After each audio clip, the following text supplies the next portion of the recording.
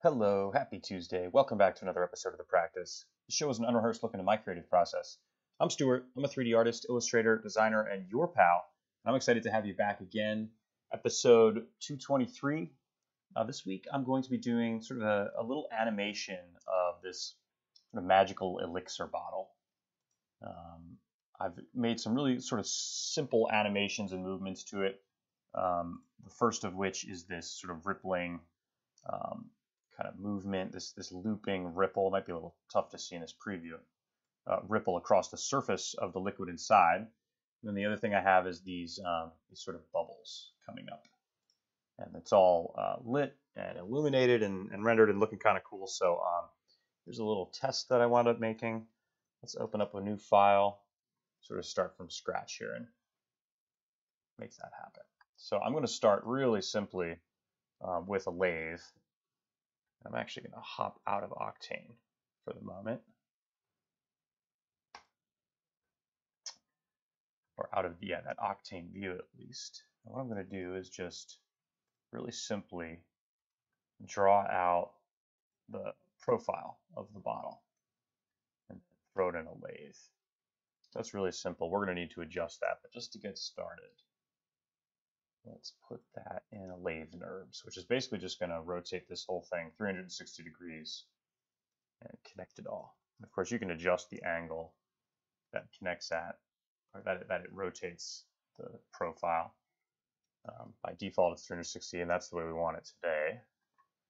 So you'll notice there's like a, a gap in the middle here, and what we need to do, a gap at the bottom, is set that point at zero. So now we have that closed off at the bottom. I'm going to drop that down a little bit, change the interpolation to a nice smooth one.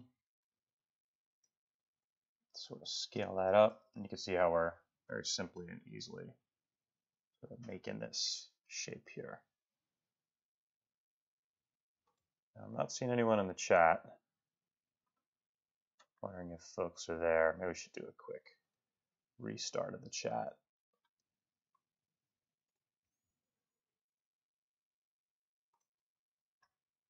What's up, everybody? Trying a little bit of a new audio setup today. Hopefully it's a little more consistent. Let me know what you think. Had some technical difficulties this morning, as usual, audio being like the bane of my existence, but try and make it work. I'm a visual guy, I'm not an audio guy.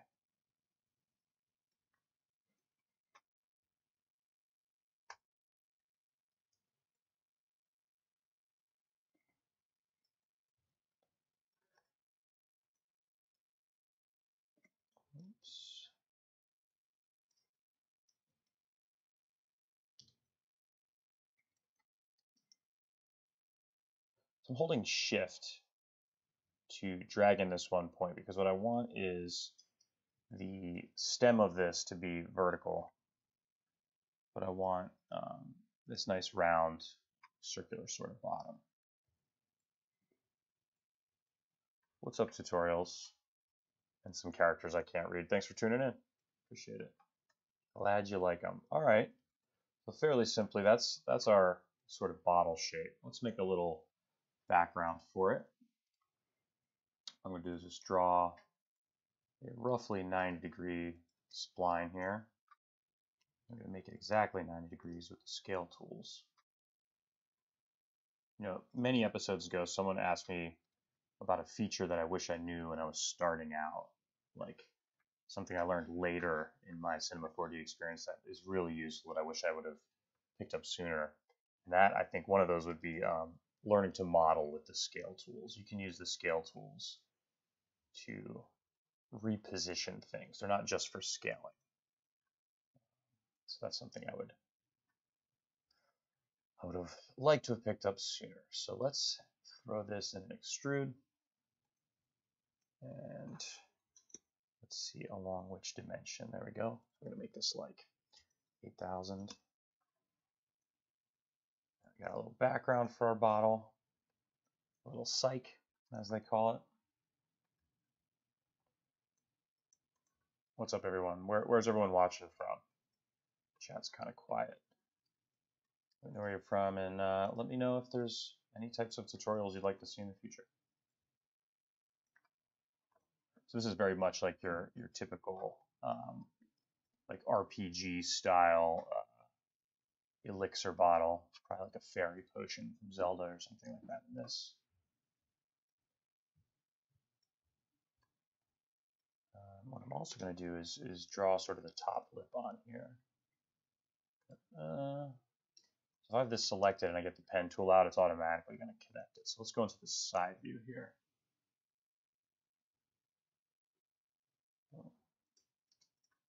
And so it's interesting. Um, maybe it's because I'm not as familiar with Octane as I should be, but I noticed that um, when I built the walls out of this, so as you can tell, these these don't really have any thickness, the walls of these. And what I would do typically um, is select all these, um, do a create outline, just kind of add some depth, right? Now, obviously, I need to reposition some of this stuff and get it all lined up properly. You see now, like the sides of the bottle have some depth. Um, but I was finding when I did that, I got really odd reflections with Octane. So I'm not going to do that at the moment. Just going to keep these walls, um, yeah, without thickness, just sort of the surface, so to speak. I'm going to make a specular material, just kind of drop that on there, fire up our octane, and there we go. I'm going to mess with this um, specular material. In fact, actually, let's make it a universal material, so we'll have some more options. I'm going to turn off metallic. IOR, I'm going to turn to 1.51 because that's the IOR of glass. Should probably drop the opacity down a little bit. Let's add a little bit of float to this thin film. Make it 1.51 as well.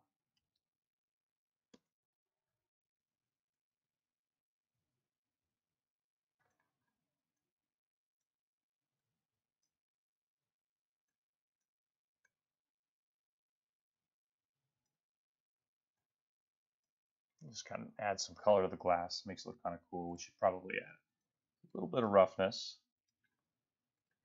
And uh, we'll adjust the lighting, but let's get the interior part of the bottle set up. What I'm going to do very simply is just duplicate this lathe. And let's go to the side view again.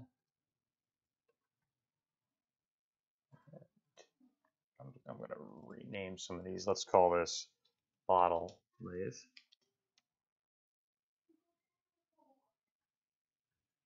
All right, and so what we need to do is lose this portion and let's sort of scale this in a little bit. Actually, let's not do it like that. Let's do it a little more evenly. I'm just going to move that up, call it 20 centimeters. Move this in 20 centimeters, move this down 20 centimeters. That should give us a pretty even thickness here.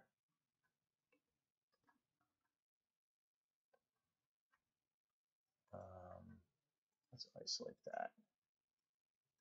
Here's another thing I want to do. Let's see. Okay, I don't want this to be all the way full. So I'm actually going to pick apart here area. I think that's probably the right amount of fullness. Um, but as you can see, we don't have a top. So let's see, what's the best way? Not close spline.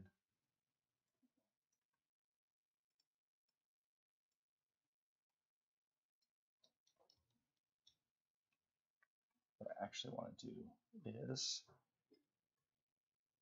add another point. I'm going to do that just by making a cut there. I'm going to move this into the zero position. There we go. And that gives us a cap, so to speak.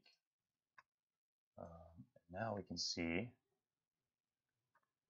let's actually make that a little easier to see. Let's go down with the opacity. And we can see we've, we've uh, got a filling there. inside. Got some liquid in the vial. And this a little larger, make sure it's sitting there. Right.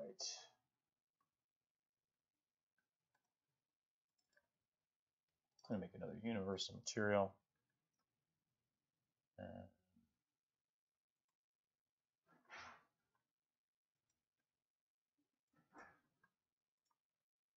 since this is going to be a glowing uh, sort of elixir, let's call it, I'm going to add a texture emission to this.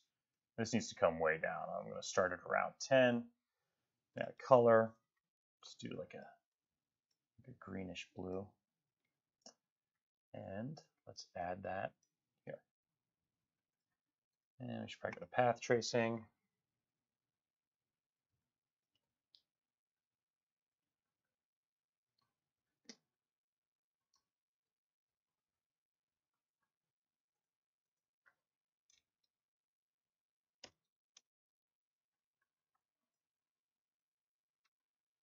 Okay, let's get some lighting in here. Adding some dark background lighting is going to make this um, going to make this glow a little work a little better because we've got sort of an overly bright uh, scene right now, an overly bright lighting setup. So let's darken that up a bit. I'm going to add, oops, just a little bit of warmth to the top of this, just for a bit of variety. You can see what that does to the surface here. And that's too much. And I'm going to turn this power down. We've got a little bit of a fill, uh, but it's still pretty dark in the scene. Uh, we should also add some additional lighting. And this is going to help us with our glassy feel have some nice reflections on the glass. There we go. There's one, probably too bright at the moment. Let's drop that down like halfway or so. Still pretty low, and I like the idea of making it a cooler, cooler color. Now let's add a little bit more lighting. This is going to be kind of a background light almost behind the object a little higher.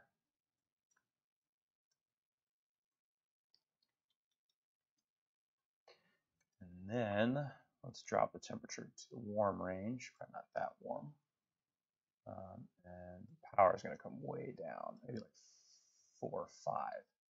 Just a little bit of a subtle fill. Let's see. Uh, so the walls of this are feeling a little thin. So basically what I want to do is scoot those in.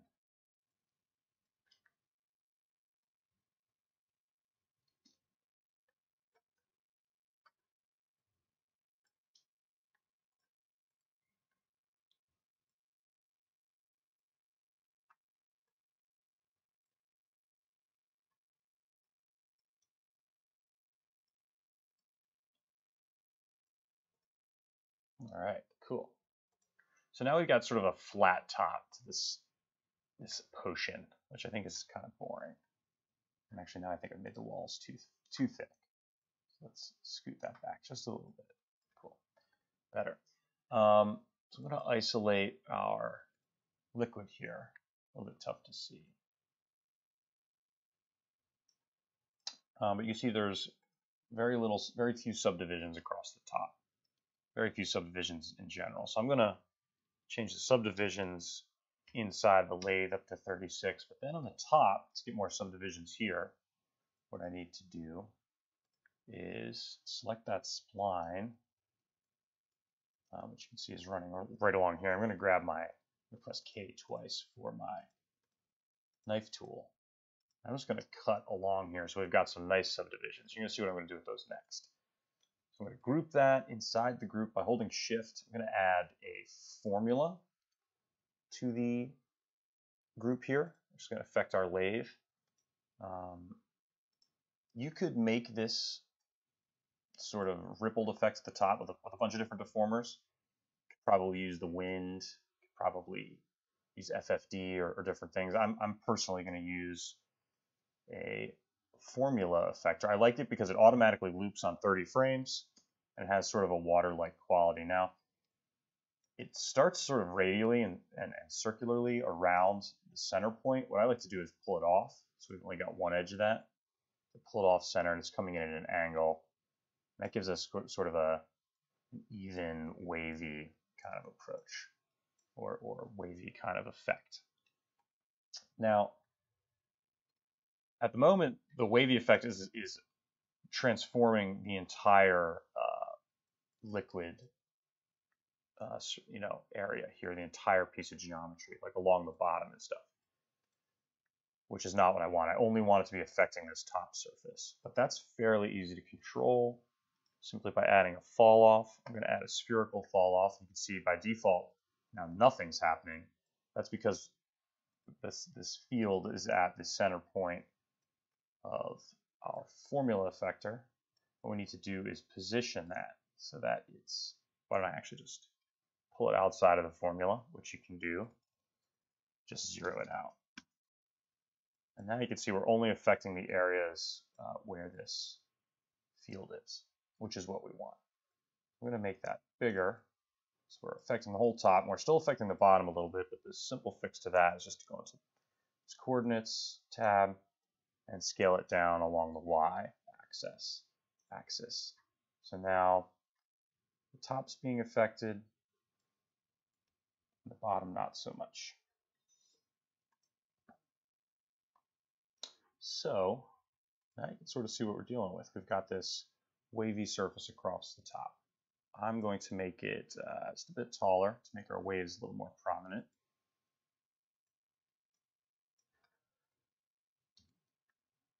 Let's, let's set up our rendering here. That's a good view of the, of the waves.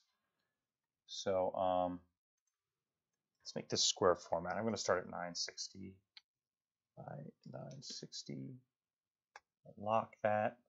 Hit this lock button. Zoom out a bit.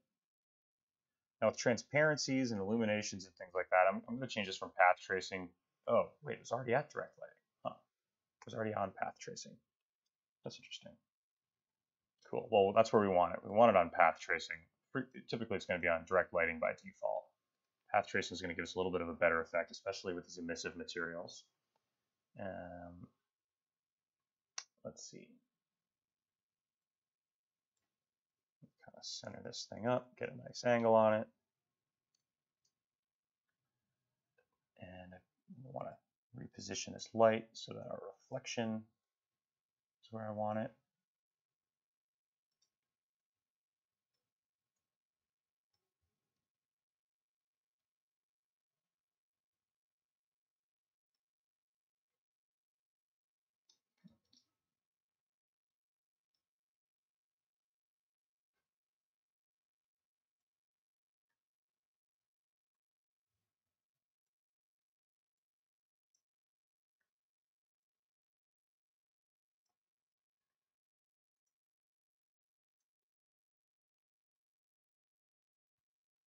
Here that the size of the light also affects the amount of light it throws off, which is logical.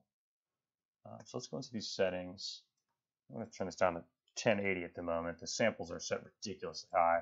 GI clamp lowering that number is going to give us a little bit less of what they call fireflies, like noise in the lighting.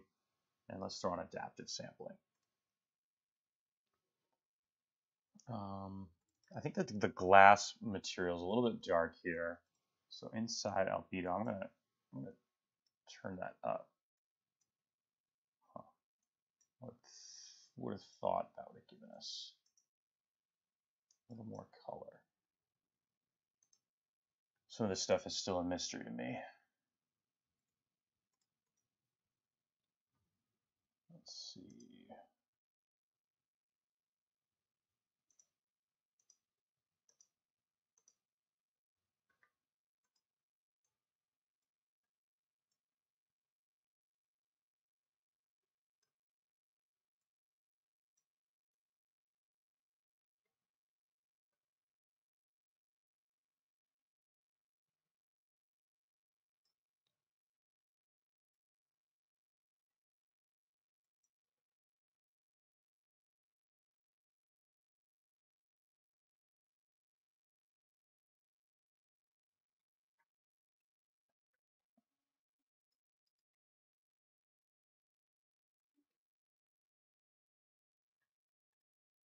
Add a camera. I think some of these um, values we can adjust inside the imager as well. Maybe we want to bump that exposure, but bring the gamma down. Contrast, probably are. is too high on our, our background light.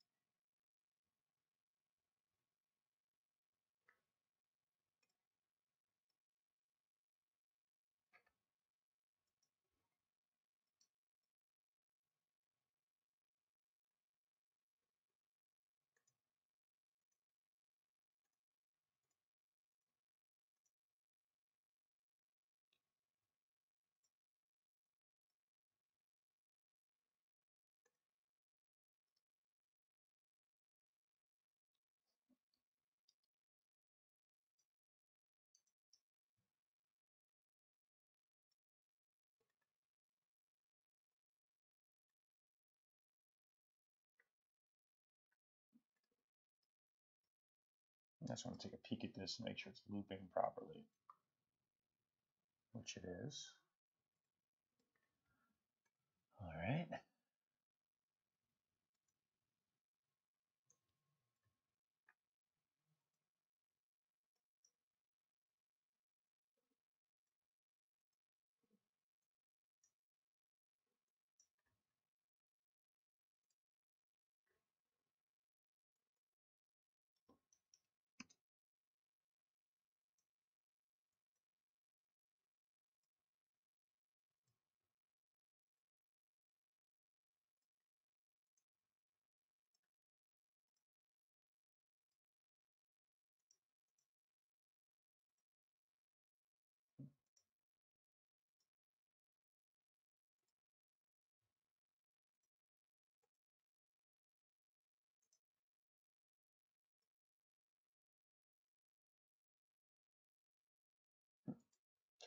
All right. One thing I want to do is turn the emission up a little bit on our potion here. Let's see. I'll turn specular down. I'll turn the roughness up. That's better. Um, we don't want the sheen or the coating or the thin layer, or any of that stuff, I don't believe. Opacity, let's see. I don't want it all the way up.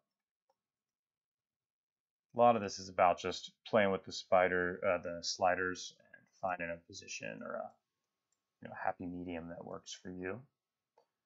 What's up, 192 megabytes 007? happy Tuesday to you.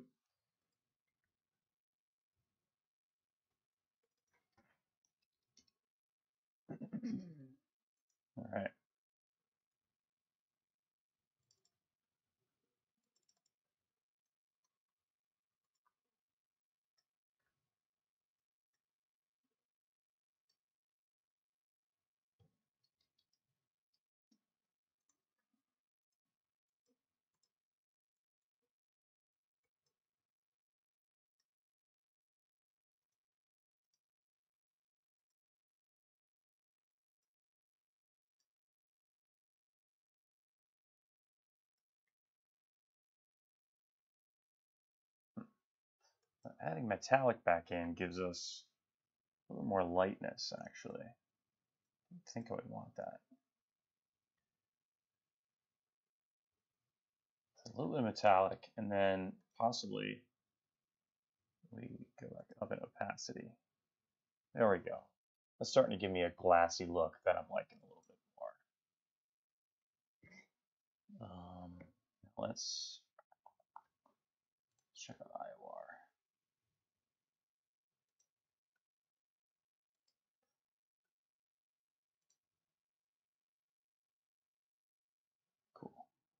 Let's get where we want to be.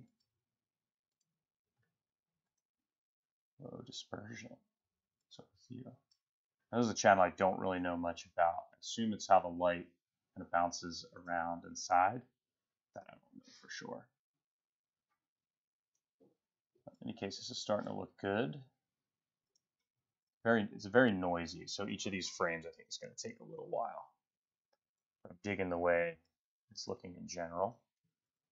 And this is most of what we wanted to accomplish with this image. Now the, the next bit I want to add is sort of some some bubbling spheres in the inside, give it sort of a magic potion kind of vibe.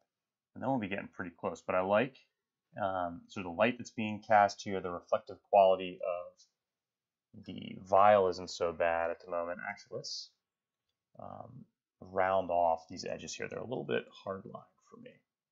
I'm just going to grab these three and I'm going to hit chamfer, click and drag, and just add a little bit of rounding to those edges. It's going to make it good.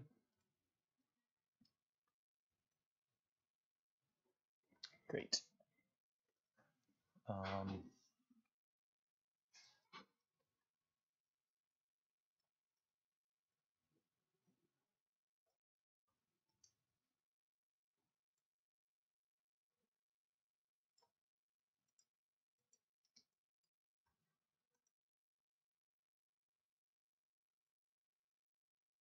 adjusting the lighting here.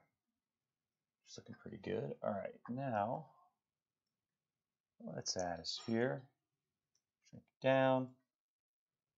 Throw our texture on it. Way too big at the moment. Scale that dude down. Add a cloner. I think I'm just going to use a cloner and some random, some randomness to make these bubbles. Probably a step effector. So let's start with eight bubbles bring them a little closer together and let's let's make these a little easier to look at at the moment. All right, so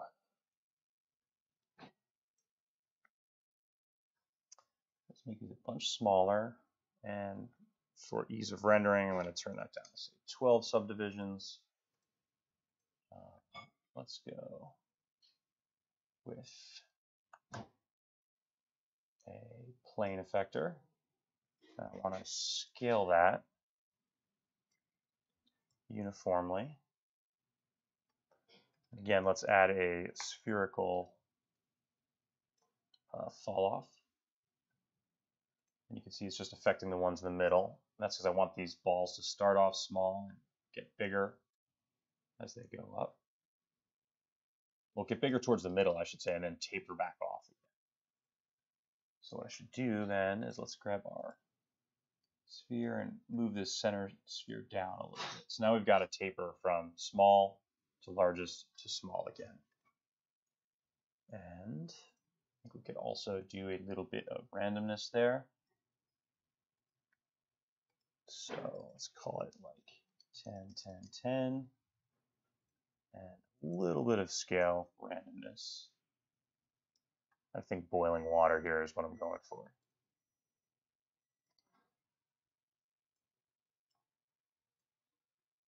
Cool.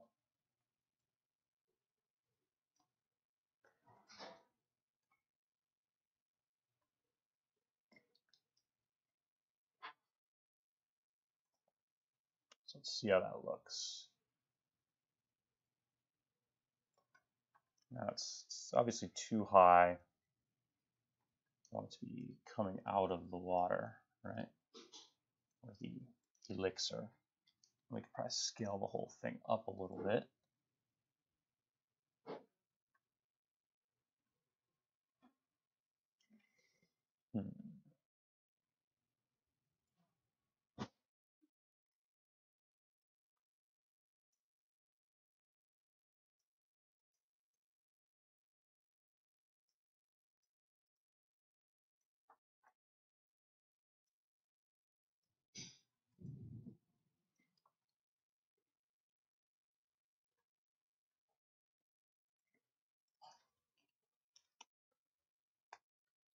All right, so let's add a little bit of motion to these. Hello there. Thanks for tuning in. Just a few ways we could probably animate this.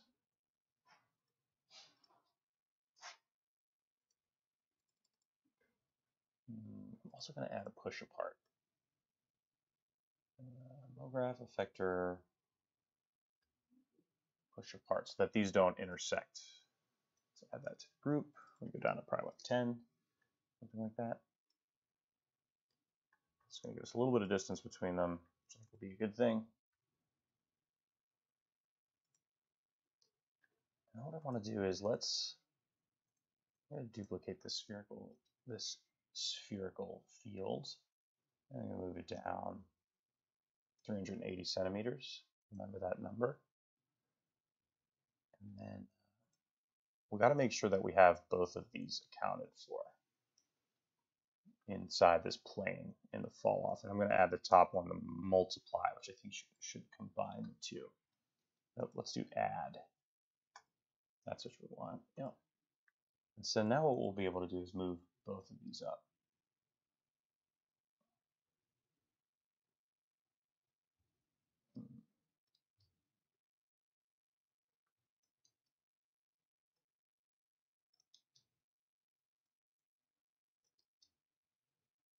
Hmm, you know, I don't think that's the way I want to handle this. I'm going to delete those. What I, what I actually want to happen is probably some sort of offset thing. Yeah. So that this cloner actually travels through because the bubbles need to be moving up and getting larger as they move through. Yeah. So what I'll do is let's duplicate this cloner and move it down, say 450. Let's duplicate this cloner, go up, say 450, 450. Um, cool. And then let's grab all three of them. Let's group them. And I'm going to, let's go to coordinates. Keyframe that, go to the end, scale it up 450, and we should get a nice loop.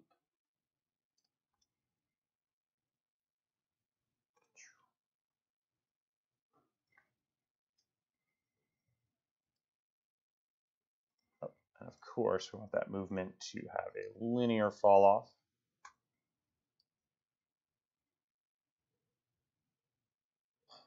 Cool think we could add a few more clones. Just add one or two. Um, cool, and let's check it out.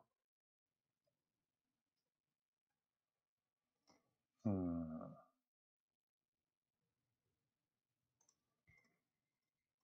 Also going to scale these spheres way, way down. They're barely noticeable. Then I'm going to make plain effector stronger. Because we've scaled everything down, we need the growth in the middle to be all the more severe. Cool. And now uh, everything's kind of blown out and overly illuminated. Probably because we've got, a, I mean, it's because we've got a lot more of these illuminated objects in there now. Um, but I think we can control some of that exposure here, which is too high. Let's go down to like one. And the gamma can be even lower. Frankly, we probably need to turn down the brightness on, on this material. Yeah, let's go to like four. And what we might need to do actually is have, yeah, let's do that. So we're going to undo that. I liked this amount of, of illumination for the liquid itself, the main liquid, but I think it's too bright for the bubbles. So I'm going to make a separate material for the bubbles where the emission is much lower. Uh, I'm going to replace that here. Let's take that off. Yep. And now we're not as overly illuminated. We're not as blown out, so to speak.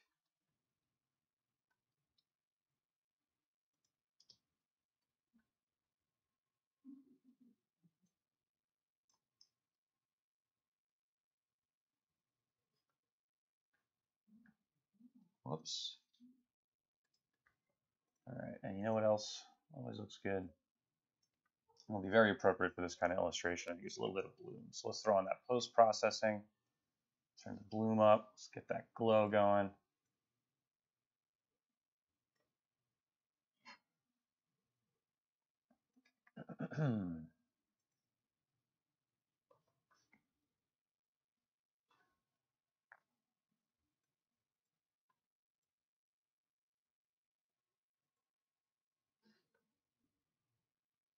Now that we've got that glow going, I think we can even go lighter lower. Let's call it one and a half. Well, not 13 and a half, 1.5. And let's uh, turn the sampling rate up to five. This sampling rate is going to be basically the, the quality, the amount of samples that we're going to uh, prioritize. I'm going to add more samples to these two lights, these two illuminated textures, I should say, these emissive textures. Uh, because they seem to be the noisiest.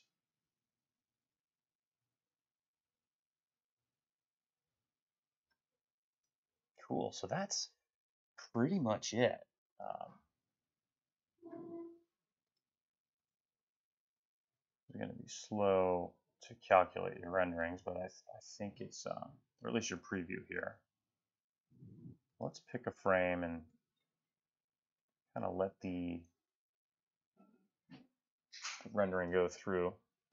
See what we're dealing with here. I think the other thing I'm going to do is um, lower this spherical plane a little bit so that the largest point of the bubble is going to be a little bit deeper down inside the bottle, which is better. Again, I think we can even go, let's go to like six. Now our bubbles towards the center here are going to be bigger.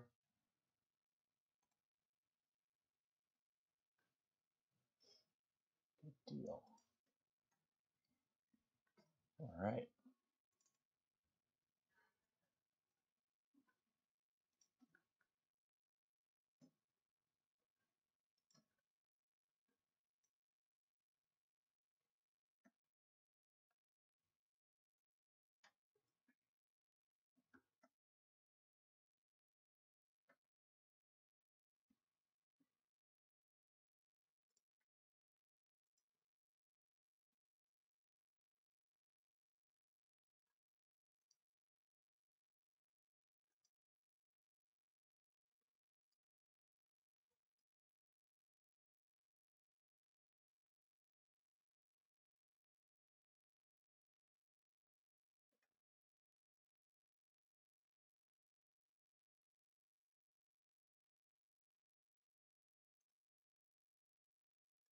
Couple last minute tweaks here to this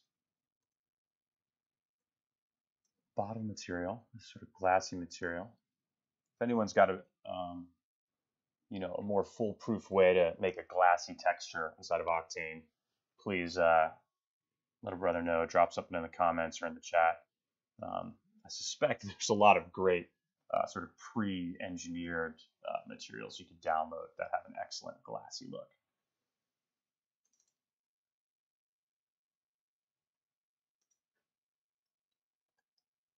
Turn up huh, the opacity on the main texture for the elixir, that liquid.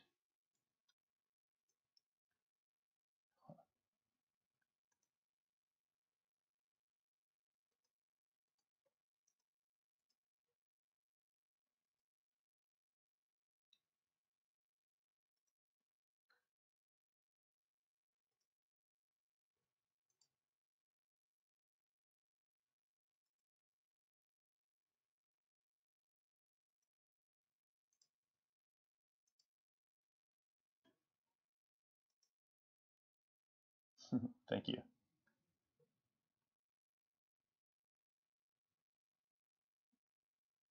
Thanks for tuning in. I wish I could pronounce your names. I think, guessing Korea, the shape of those characters, but I'm not positive.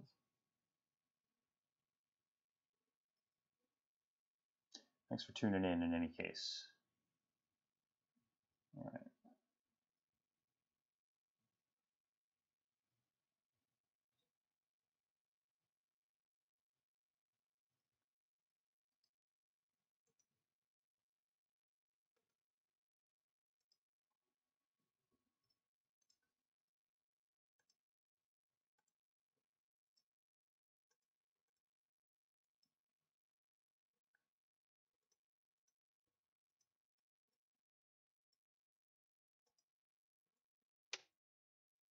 Doesn't seem to do anything.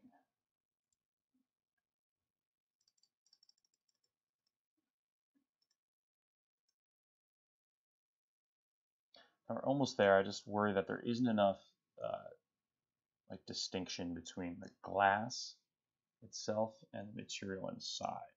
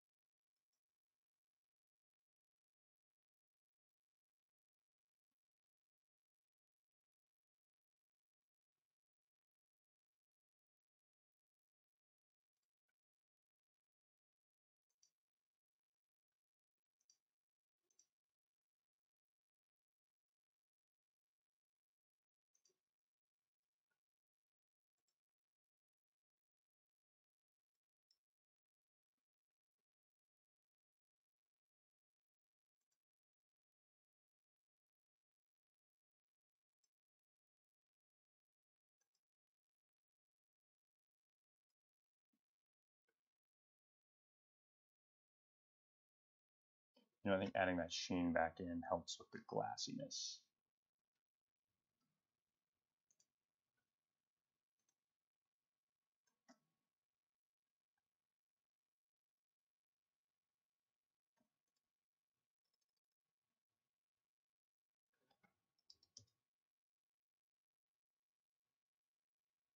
There we go. All right.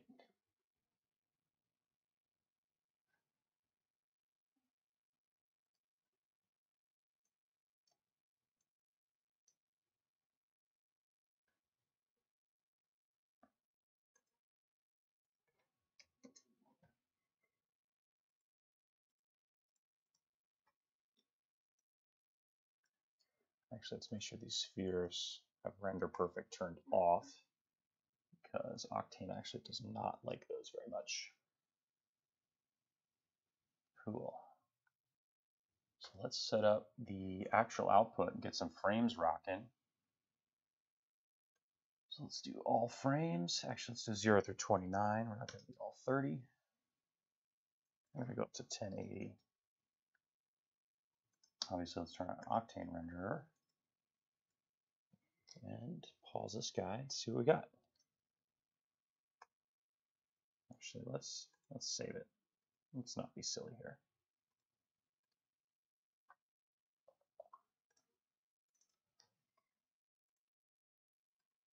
Number two for the year.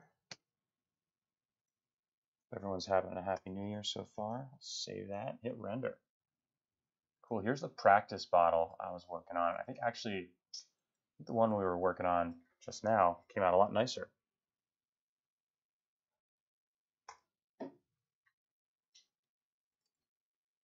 Good deal.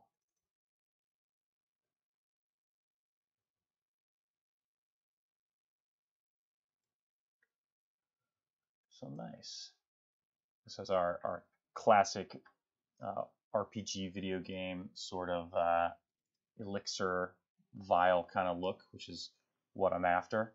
Um, looks like uh, Octane is estimating about two minutes a frame across 30 frames. I don't, I don't think it'd be a very good idea to have y'all sit through this, um, but you can you can see through some of the previews how this is going to turn out.